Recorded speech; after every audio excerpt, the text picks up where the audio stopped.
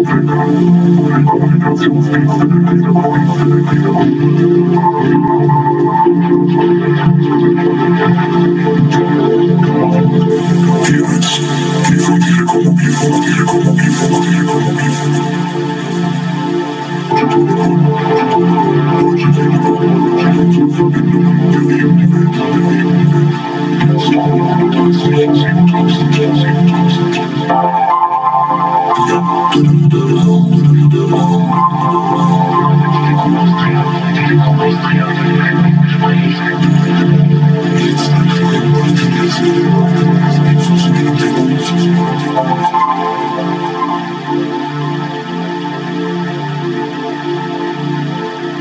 Jetzt bestellen und dann eine Stelle kommt die